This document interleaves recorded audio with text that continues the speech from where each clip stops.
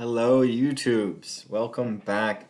We have uh, an extra special recording of a English 375 lecture for you today. Extra special it is because it's the last one.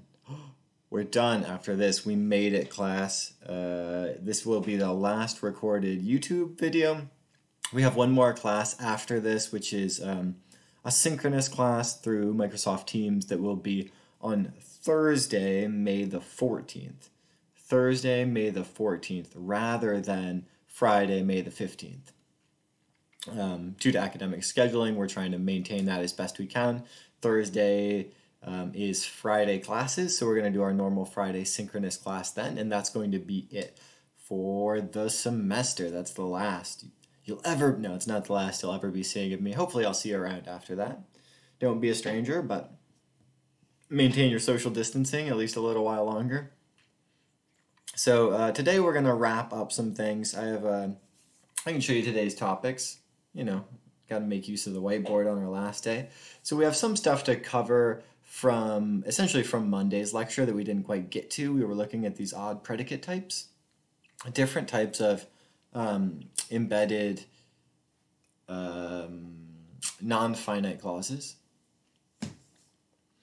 And now we're going to continue that. We're going to be looking at our last type that we didn't quite make it to. This is the subject to object raising type of sentences. And then in the second half of the lecture, I just have a few notes um, of things that I want to remind you of leading up to the exam. A little like mini crash review session with me where I bring up some points for you to fo not to focus on, but some some trouble spots that I've seen students both in this semester and in semesters past struggling with and so I want to bring those up, raise those, draw those to your attention so that you can you can focus on them a little bit.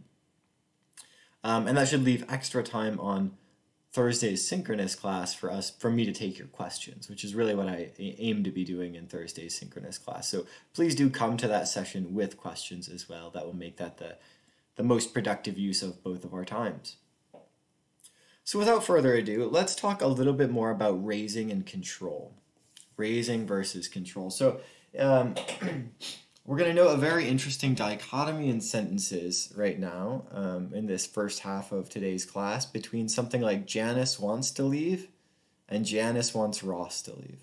Janice wants to leave, Janice wants Ross to leave. They look very similar on the surface, actually, right? It's just one word different. Whether uh, it's just one word different.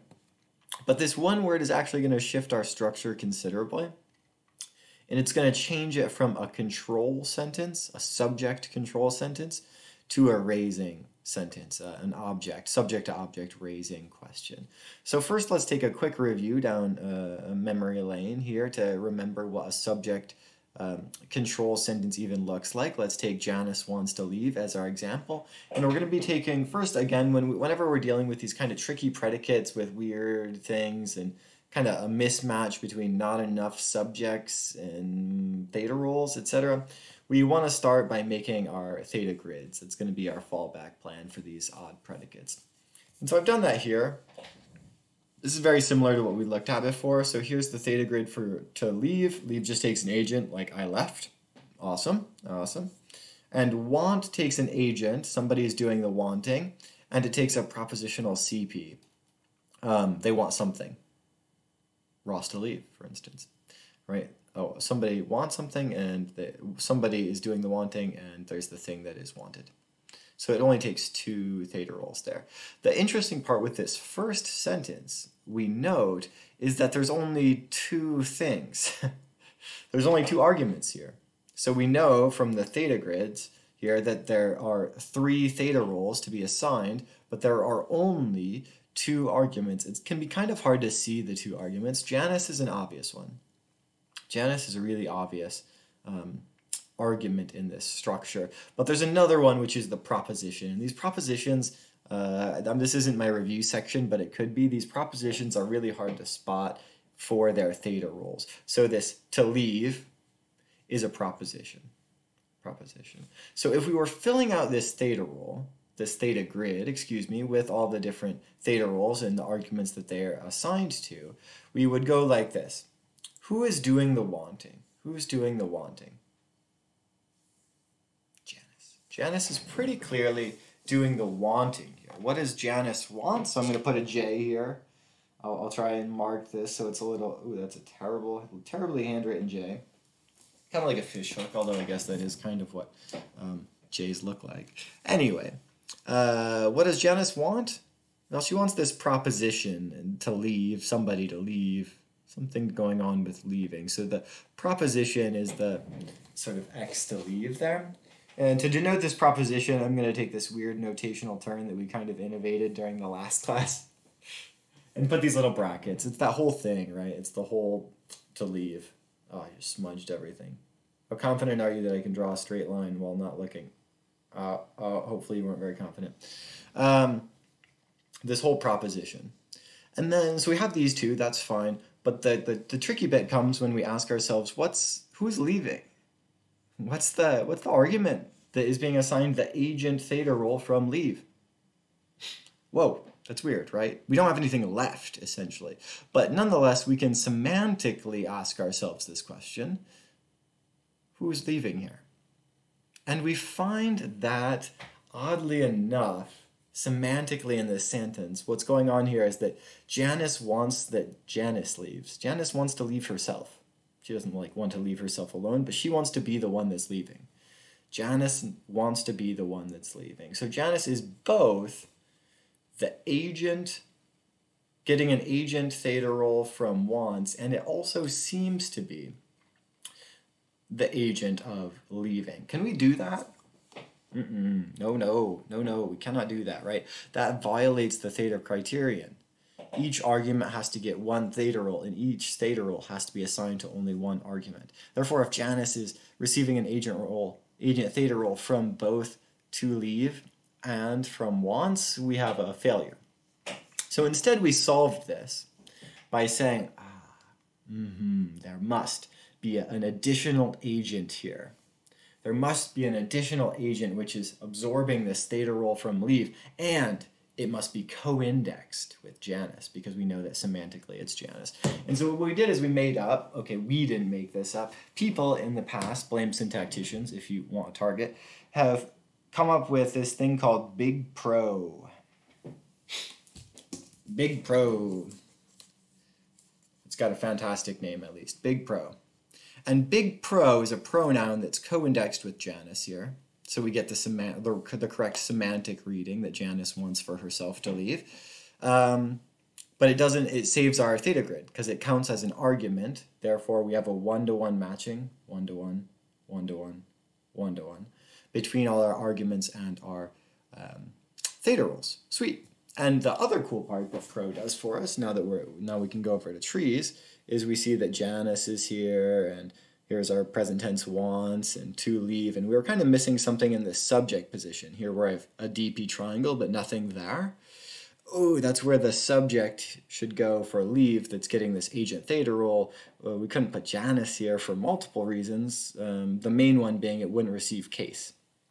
It would not receive case because this is a non-finite clause, so there's no nominative case assigned here. Luckily, pro comes in to save the day and fits exactly in that place structurally. P R O P R O. It's like a good chant. Big pro.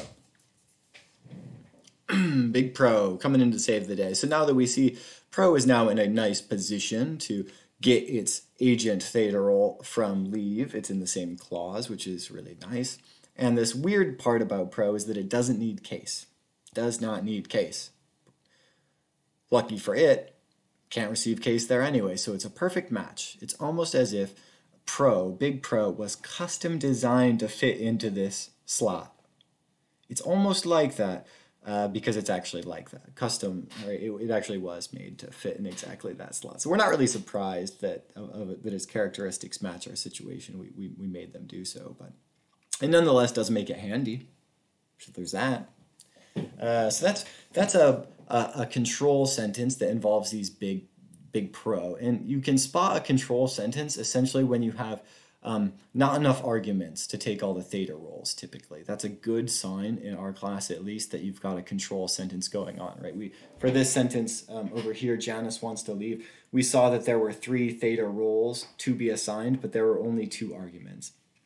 And there we, we, we have a good idea that we might want a big pro. This in particular is called subject control. Subject big control because the subject is the one controlling or co-indexed with the big pro, not an object. Object control, if you want to look at object control, we looked at that at the end of class last time. I'm not going to re-talk about that uh, here, otherwise I would basically just be giving the same lecture as, as last class. but now, if you uh, feel clarified on the subject of control, see what I did there with subject, but um, you can go back and watch it and hopefully it will make more sense. That's subject control. The subject is controlling the big pro. Okay, now with that review in mind and kind of the structural idea, now that, now that I've got you in the right frame of mind, let's take a look at this next sentence, which is weird. One, uh, a member in my class who, who shall not be named um, asked me about this question a couple weeks ago, and I was like, oh, these are weird sentence types. I, was, I got stumped but I'm back for more here. I, I rallied. And so now we're going to be talking about subject to object raising. Uh, in a sentence type like Janice wants Ross to leave. Janice wants Ross to leave. So it looks like, can I actually set this here? I can actually set it on my desk. Spare myself. Oh, I'm a little close. Janice wants Ross to leave. It looks like in this sentence that all that we're doing, right, is we're replacing Janice is still the one doing the wanting, somebody to leave is still the proposition. This part's all right, but who's doing the leaving now? It's not Janice anymore, right? Janice doesn't want, no longer wants for Janice to leave. She specifically wants me, Ross, to leave. And so what it looks like is happening is that Ross is taking the place of this pro. And in some ways that's true. Ross is taking this agent theta role from leave. Ross is the one who's leaving. So we're gonna put, I'm gonna put a big R there to signify myself. X marks the spot signature style. A big R. Bam. So that's different, right? That's a change from sentence one to sentence two. But what's the problem here? So we're not, we're not out of the woods. We can't do a simple substitution and think that that's going to solve our issues. It, it doesn't. It, it solves the theta criterion issue very nicely in exactly the same way that Big Pro did. But what special properties did Big Pro have again? If you want some time to think before I just um, blurt out the answer to this dilemma, feel free to pause me as always. What special properties did Big Pro have? Well, it was silent. That was one thing. Ross isn't silent, hardly ever. Um, but the other property was that it doesn't need case. So it worked in this particular environment as the subject in spec TP of a non-finite clause to leave, to leave can't assign case, pro doesn't need case, so they were a match made in heaven. But when you replace pro with Ross, like we just did, I'll, I'll, I'll switch that in the tree,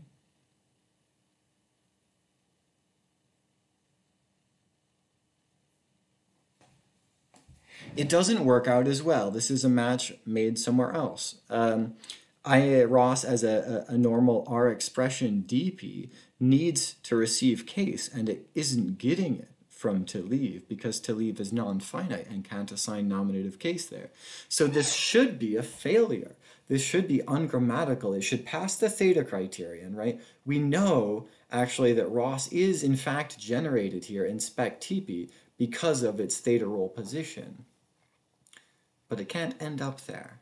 And it can't end up there because otherwise it would be a case filter violation. Ross is a case filter violation as we currently have it. It's not receiving case from anywhere. So how do we solve this? Well, take a look at what this phenomenon is called. this is called subject to object raising. That gives you your first clue as to how we're going to be solving this weird problem of Janice wants Ross to leave. What we're going to say is that Ross, looking for case, looks up further in the tree and tries to find um, a case, a nearby case position. I'm going to change a few things in the tree now. I got to finagle. I got to do some uh, special tactics here on my tree drawing to get us into the right positions. One moment. Hmm. I didn't draw this tree very well, but uh, we're, we're 15 minutes into the lecture, so it's just going to have to cut it. So Ross is looking desperately for Case. Resume to this scenario in which Ross is looking desperately for Case. And where does it find it? Well, it finds it as the complement of this higher clause verb wants. It finds it essentially as the object of this higher clause verb wants, as sister to the V head, a position in which accusative case is assigned. A position in which accusative case is assigned. So I'm going to show you what that movement looks like, and then I'm going to give you some evidence that we're on the right track here.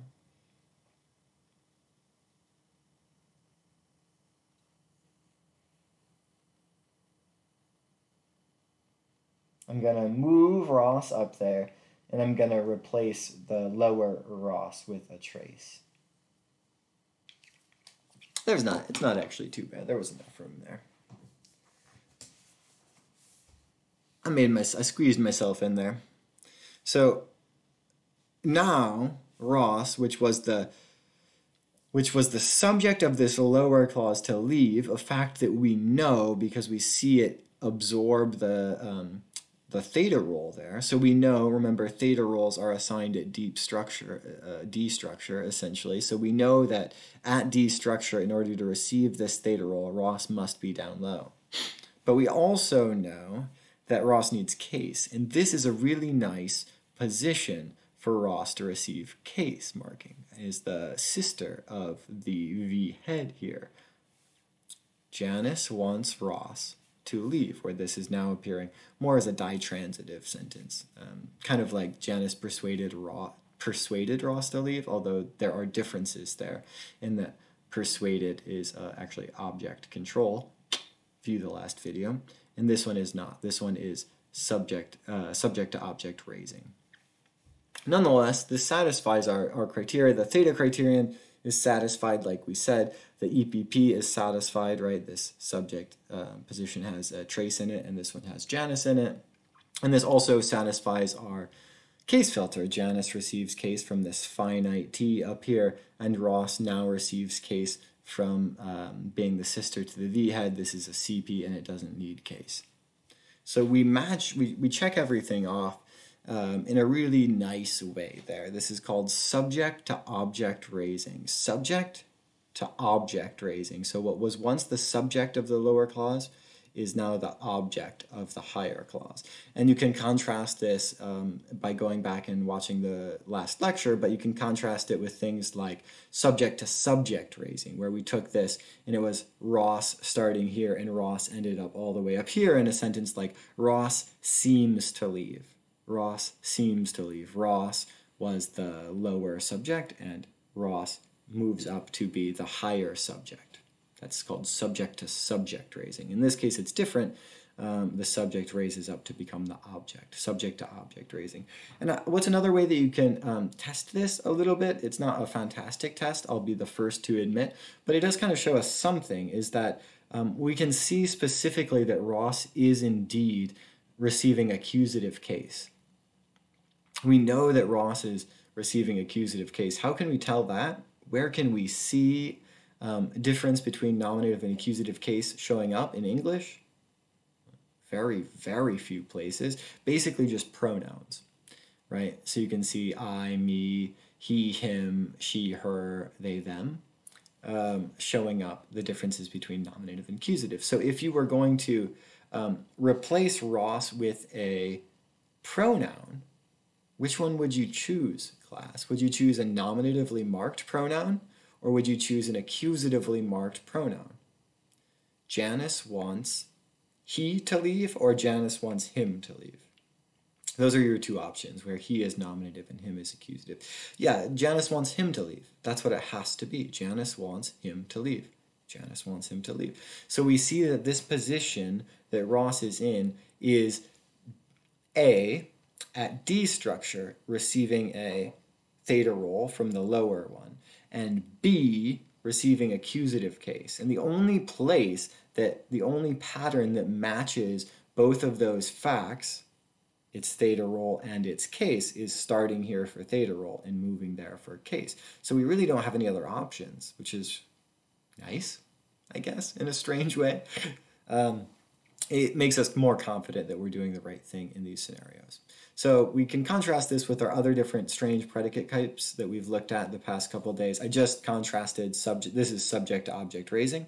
I already contrasted that with subject to subject raising, like Ross seems um, to leave. We can also contrast this with um, another thing that it's very close to, which is object control. Object control would be Janice persuaded Ross to leave.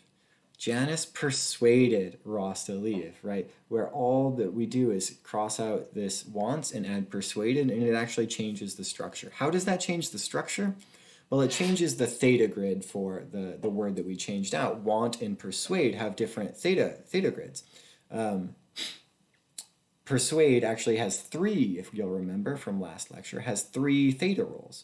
So in this sentence, back to this subject to object raising one, wants isn't assigning a theta role to Ross. Janice doesn't want Ross.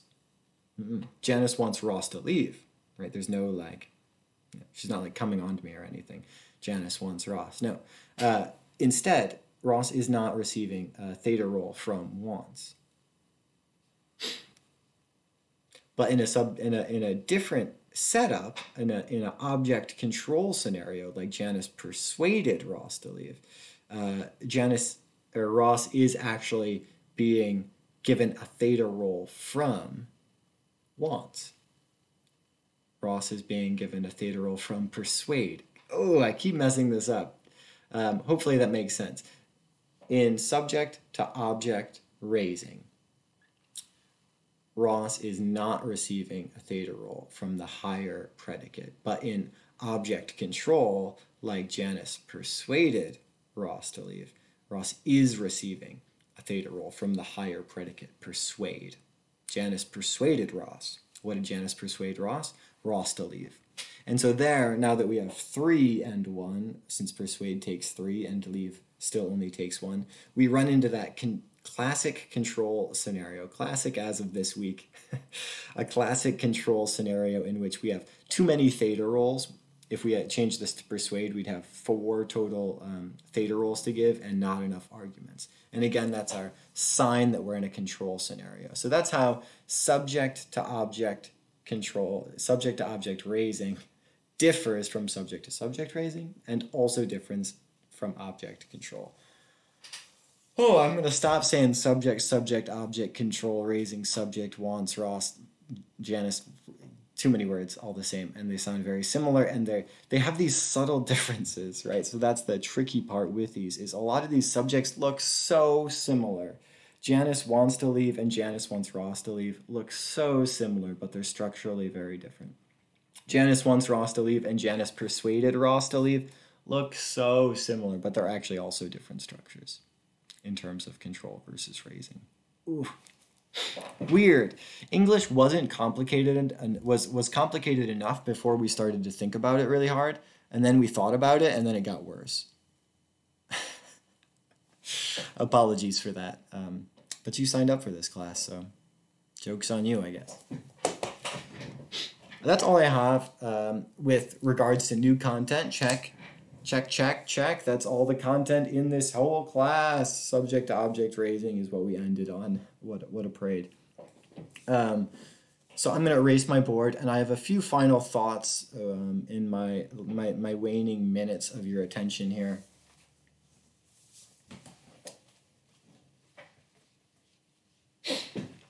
And I just want to talk about very quickly. I don't want to go into depth in any of these issues. If you want to go into more depth on any of the issues that I raised today, that's what Thursday's synchronous class is for. But I want to raise a few issues as my last chance so that I can prime you perhaps a little bit to pay extra attention to the following subjects. Particularly, I'm, I'm talking about your exam exclusively here, Laura. You don't have any homework assignments left. On your exam, pay attention to the following four things. Um, if I'm being very blunt right now, this is essentially four things Ross is worried you're going to mess up. prove me wrong, class. Prove me wrong. Uh, don't mess these up, and don't mess them up. Uh, not only because I'm going to talk about them right now, but hopefully you've also learned the material well. um, okay, thing number one that Ross doesn't want you to, to mess up is differentiating between adjuncts and complements. I'm going to write these down. I'm going to make you a list. I can't spell differentiating, so I'm going to make it really sloppy so that um, you can't tell if I spelled it right or not. True honesty coming out in the, the last class. We're, we're, we're feeling feisty today. Differentiating between adjuncts versus complements. I've also been spelling complements uh, basically wrong the entirety of the year. I've been spelling it like I'm complimenting you, like, oh, you guys, um, you did so well on your last homework. Uh, that's actually not how you spell it. but you do spell it with an E rather than an I, in case that was um, not clear. Differentiating between adjunct, wait, wait, wait, wait, wait, wait, wait, wait, yeah, adjuncts and complements. I said that correctly. I thought I was on the wrong um, mental slide, but it wasn't. Differentiating between adjuncts and complements. What is this? Well, hopefully you remember, right? This has to do, it's a structural position. This is determined by differential structural positions.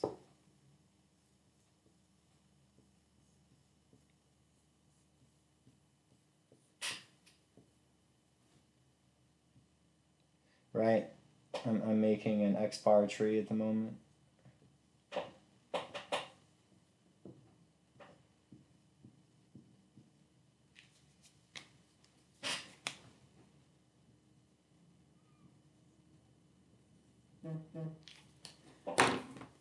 So this has to do with our X bar trees and the structural positions. When we have this sort of basic X X bar structure, an XP with X some number of X bars and then an X head, this is the X head, we find that we have multiple positions that the complement phrase, comp P here is standing for the complement phrase. It's not a real type of phrase. You would uh, substitute this in for something like a determiner phrase, whatever a CP, a DP, um, whatever, um, is the sister to the X head. So structurally, that's what we want you to remember. Complements are the sisters to the X head, whatever the head of the phrase is. Where adjuncts are sisters to the X bar. Adjuncts here, this is not an adjective phrase. This, for today's purposes only, is an adjunct phrase. Is sister to an X bar. And there's a few consequences of this if you'll remember very quickly. Um, one is that there can only be one complement per phrase because each uh, head can only have one sister, um, where there can be as many adjuncts as you want. So it's a, an important thing to keep in mind as you're drawing these trees where you want to be putting those things. Um, other factors are that complements are typically necessary, especially verbal complements whereas adjuncts are not necessary and you can add as many as you want. Structurally, how do we figure out which is which? Again, this is, uh, we're not going into any depth here. This is just for your own recall. So you can say like, aha, I do remember that. Um, the complement always appears closest to the X head. The complement is the thing that appears always closest to the X head, closer than adjuncts do. So if you want to tell, is this a complement or is this an adjunct, the easiest way to do that is try to move things around. If I said like, I hit the baseball, I hit the baseball yesterday, right? Already you know that yesterday isn't a complement because it's not the closest thing to the verbal head. The baseball is. The baseball's the closest thing. But the closest thing um, isn't good enough because it could still be the closest because it just happens to be a closer adjunct. So what we want to do is we want to see if the baseball is necessarily tied in a close relationship to hit or not. I hit the baseball yesterday. Is it just coincidence that the baseball appears next to the verb hit or does it have to be that way? If it's just coincidence, we should be able to switch it. If it has to be that way, it's a complement. So we try and switch it and we say a sentence like, I hit yesterday the baseball. I hit yesterday the baseball. And we're like, oh, that sounds weird, right? That's a weird sentence. And that weird sentence is weird because what we found out is that, yes, in fact, the baseball is tied to hit. It does have to be the closest thing to hit. Yesterday doesn't, right? So in that scenario, we've deduced that the baseball is a complement and that uh, yesterday is an adjunct. Um, and that will determine where we put them on the trees.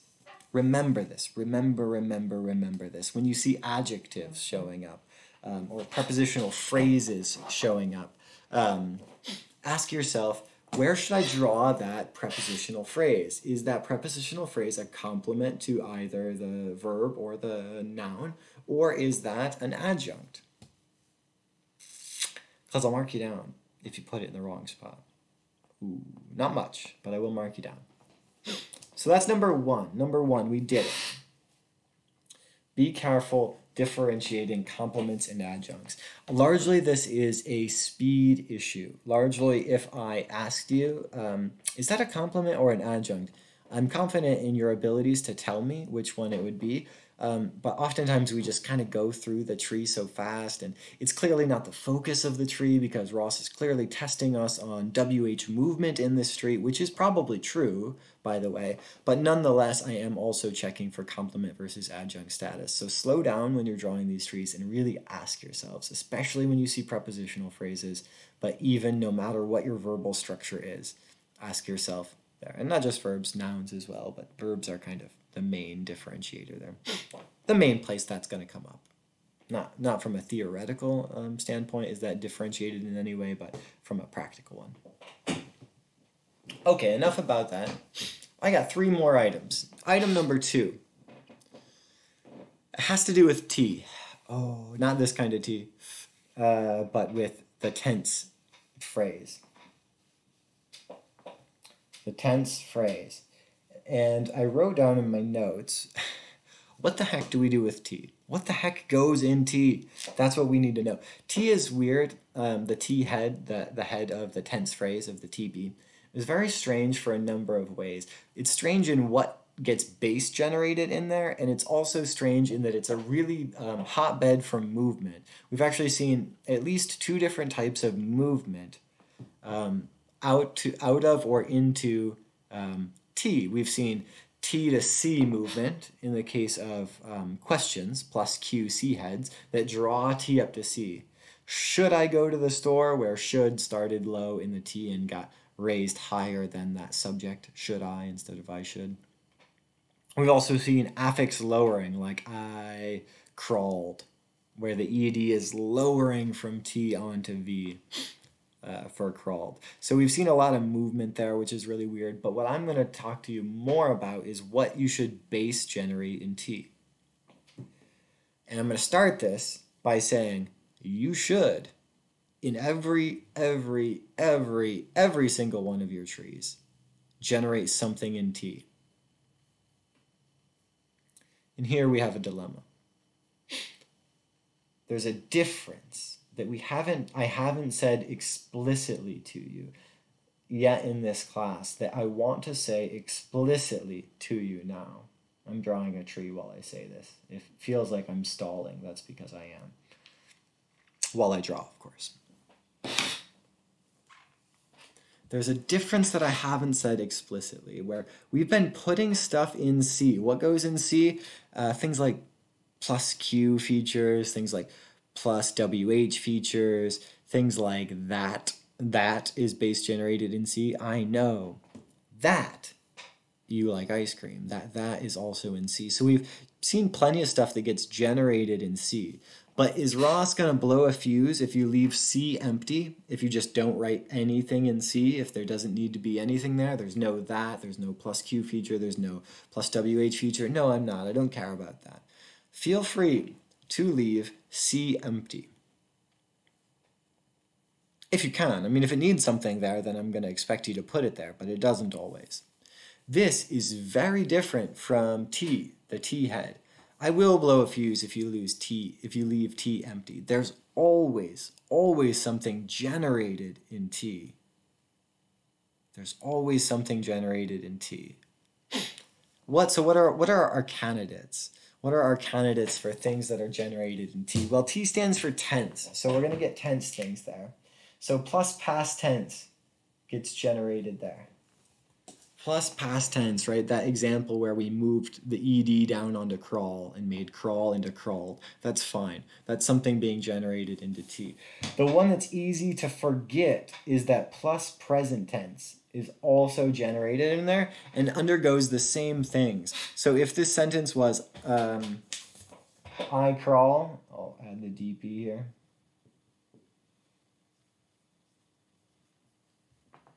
I'll erase my tense like a bad kid for now. It's not a bad kid, it's just, you know, incorrect. Doesn't mean you're a bad person.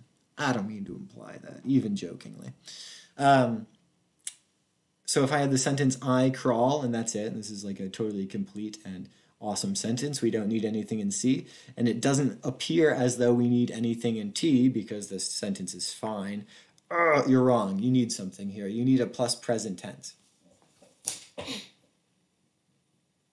This sentence denotes present tense. I crawl. And so what we need is a present tense that drops down on there. Does it add an ed? Does it add any external morphemes, overt morphemes? No, it doesn't. But it's still there. It's still there, class. It's still there. So you still need to add that in there. If you're missing, if you can't figure out what goes in T, there's a good chance it's present tense. So check for that. Other things that get generated in T, because this is a long list and we're not done yet. Modal verbs modal verbs. Ross, what's a modal verb? Well, they're this weird ragtag group of things that are best illustrated by example. So they're things like should and could and might and would, ought. Right? I'm not going to write that one. These modal verbs, they get base generated directly into T. These are these are modal verbs. They have a verbal element they don't get a VP. They don't. They don't. They don't. They get they get straight slapped into T, base generated into T. How do you know that? Well, go watch a previous lecture.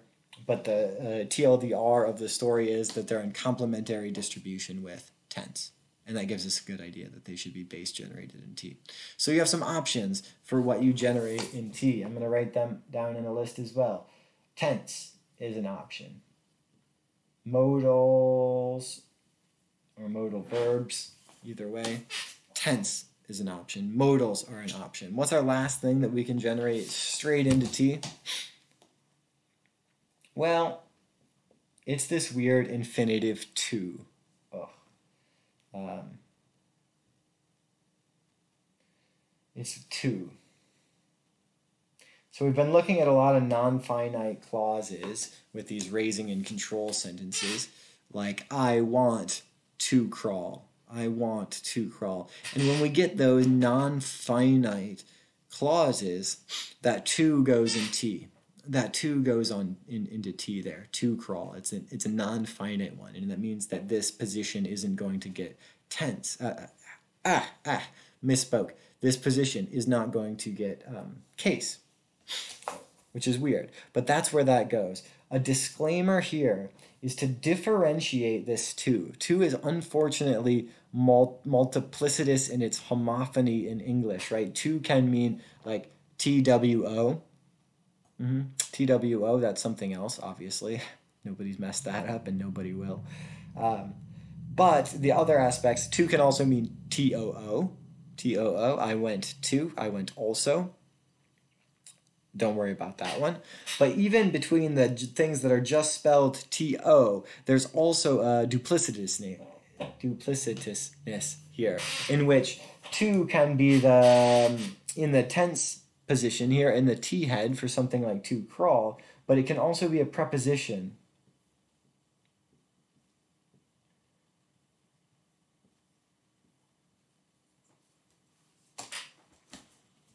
Too bad.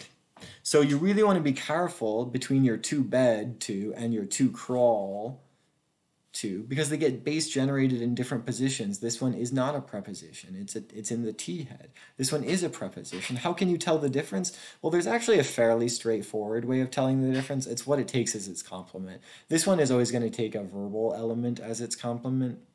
Maybe not always. I think always. We're going to say always, even though I'm not certain of that. It always takes a verbal complement to crawl, to run, uh, to hide, to whatever. Where these prepositional ones almost always at least take a DP as their complement. To bed, I went to bed, to the store, um, to the hill, just like prepositions normally do. So differentiate your twos. Differentiate your twos. This two is not this two. Don't confuse them. Don't try and call this one a preposition. Don't try and call this one a tense. A T. Okay, those are my two big ones. I'm going to go rapid fire, hopefully, through uh, the, my last two here. Uh, we're going to talk about theta grids just super briefly. We've been doing more theta grids, and they've become more important now that we've talked about these raising and control structures. For the most part, you guys have been doing a really good job with your theta grids. There's just um, there's two tips I have for you. One of them is a nice tip. The other one is a mean tip. You want the nicer one or the mean one first? I'll give you the nice one first. Your nice tip with theta roles is to not forget to write what type of constituent it takes. So not only does the verb um, eat take an agent,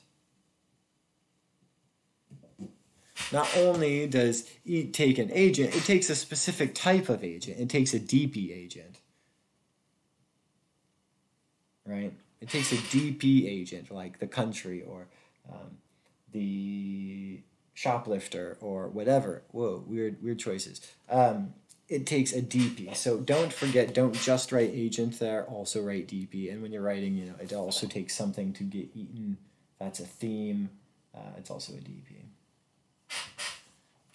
What goes in these boxes? Why do I always make these boxes? And 99% of the time, I never fill them out.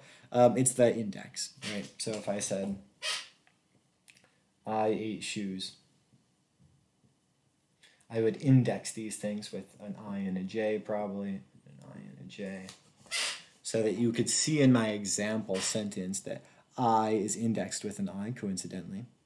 So you know that this big I, me, I am the agent, and you know that shoes, indexed with J, is the theme. That's your uh, nice tip for. Um, that's your nice tip for theta grids. Your mean tip for the theta grids is that only arguments get theta roles. Only arguments get theta roles. Only arguments get theta roles. So, if I had the sentence, I ate shoes yesterday,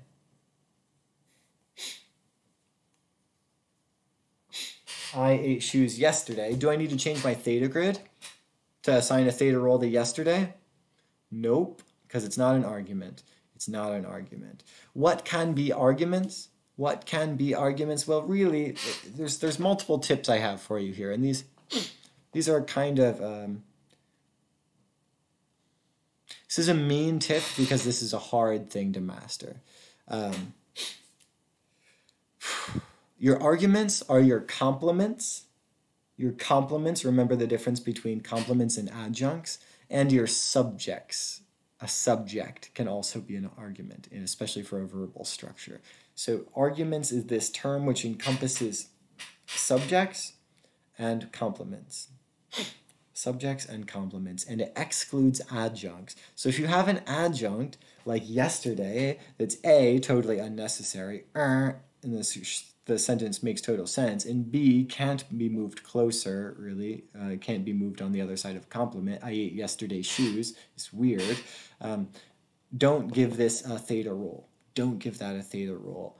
Um, adjuncts don't get theta roles. Adverbs don't get theta roles, right? All of these different things, they don't get theta roles. Um, the only possible things that can get theta roles there are um, DPs, prepositional phrase, PPs, and CPs, complementizer phrases. You'll never give an adverb phrase or an adjective phrase uh, a theta role because they're always adjuncts. They're always adjuncts. They're always unnecessary, superfluous. So that's your theta grid uh, rundown. Again, very quickly, these are things you can feel free to ask questions about on Thursday if you want me to go into more depth. And then lastly, I'm going to say this okay, as fast as I can anyway. My last tip concerns constituency tests. Um, doing constituency tests. My num I have two tips. They're both Okay, one is I kind of have a nice tip and a mean tip for constituency tests too. I didn't do that on purpose. Um, my nice tip about constituency tests is to remember that they exist. Mm-hmm. That, that they're going to be on your exam. I promise you. I'm already making the exam. They're on there. Constituency tests are on your exam, so you're going to have to remember how to do them. My mean tip for constituency tests is that they're kind of hard again. Um, I have one basically I just want you to remember that they exist. You guys are pretty good at doing constituency tests, so I'm not terribly worried. The one thing that I see um, coming up with coming up when people are running constituency tests, okay, I see two things when people are running constituency tests. One is concerning movement. So let's do a, a quick example. We're going to do, why did I start writing in the middle of the board? That's never a good idea. Here's my sentence. I have a couple minutes. We'll slow down a second here the man with the umbrella with the umbrella ran. And I want you to know, I want to ask you if with the umbrella is a constituent. We've done a possibly even one uh, this exact sentence. If not, we did one very similarly. So you want to be testing for with the umbrella. Here's the two things that I see people mess up most often. One is when trying to um, perform a movement test, people will move this into random places, um, which is, it's actually pretty fair to the spirit of the test. The spirit of this test is that you can move this chunk without con together as a unit. That's how you can tell it's a constituent. But in this class, I'm being much more picky and you can't just move it anywhere. You have to move it to the front of the sentence the front of the sentence. So you can't say the man ran with the umbrella okay, that's that's that is actually somewhat convincing to me that it's a constituent, but it's not how I want you to do the test. I want you to say it was with the umbrella the man ran. It was with the umbrella the man ran. Right? I want you to move it to the front always. Don't just move them randomly. Um, don't move them to the end. Don't move the other things. Um, so don't say it was with the umbrella ran the man, right? Only move the underlined part. Only move the underlined part and only ever move it to the front of the sentence.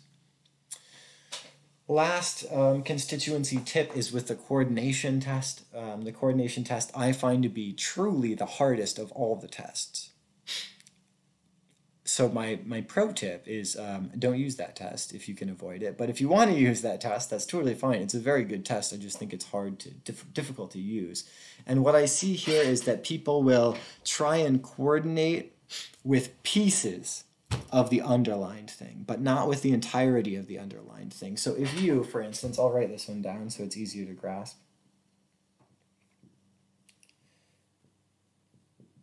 The man if you tried to do this as your test, the man with the umbrella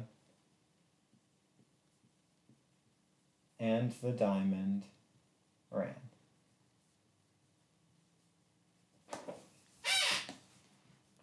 The man with the umbrella and the diamond ran. This looks like a good coordination test because you're, you're trying to coordinate with the umbrella, with the diamond. But what you don't see here is that that's not actually, what it's hard to, what it's easy to miss here is that that's not actually what you're coordinating in this circumstance. In this circumstance, what you've coordinated is the umbrella and the diamond. And you've left this with out. But we wanted to test for the with. We didn't want to just test for the umbrella we wanted to test with with the umbrella. So you're going to need some kind of preposition in there as well. So if you change this simply to something like the man with the umbrella and with the diamond ran, now we're in business because now we can more see, clearly see that we're coordinating with the with the umbrella and with the diamond. Whiteboard down. Whiteboard down for a long time. Hopefully for a very long time if um, the pandemic goes the way I hope it does that's the end of my content for today. I have a last couple things that I want to say in my remaining 40 seconds. First and most important thing that I want to say in my remaining now 30 seconds is thank you. Um, you guys have been fantastic for this whole class. I'll say again in person, but I don't mind it being recorded here for YouTube. It's been a fantastic semester. You guys have put up with a lot, um, particularly in the face of all the changes that have been happening um, in your lives in general. I don't imagine, I don't have this uh, weird false sense that the only changes that have happened to you in the past two months have been academic ones. Um, it's a weird time out there. It's extremely weird. And you guys have been extremely resilient in rolling with the punches in a, a spot that's already a, an odd time in your life, which is uh, your undergraduate career. There's already a lot of changes, already a lot of things going on. And the coronavirus pandemic has just made a weird time weirder. Um, so I really appreciate you guys sticking out this course. If you've made it this far, you've made it to the last of my video lectures. If you're reading this message, no. Um, and that's awesome. So I appreciate you guys putting up with me and my janky whiteboard as we try to make the best of an, what is just uh, undeniably an unfortunate situation in, in our in our world. Um, so uh, yeah, thanks. That's that's that's most of what I wanted to say. Thanks for sticking it out. You guys have been fantastic. You've made this class a joy, um, even in hard times here online. The Friday synchronous classes have been really nice just to get some feedback with you guys. So um, I'll talk to you Thursday, but. Um, thanks again. And uh, yeah, hopefully, hopefully it's been all right. Feel free to email me at any point, either before Thursday or after, of course, if you have any questions or any concerns or um, you're bored and you want to say, hey, those are all perfectly good uh, reasons to email me. So um, I'll see you guys Thursday. Hopefully, I'll be seeing you after that as well next semester, or if you're graduating, fantastic luck to you. Um, and I hope to see you in the future, and I'm excited to see where you end up in the world. Have a fantastic um, time until I until we meet again. Thanks.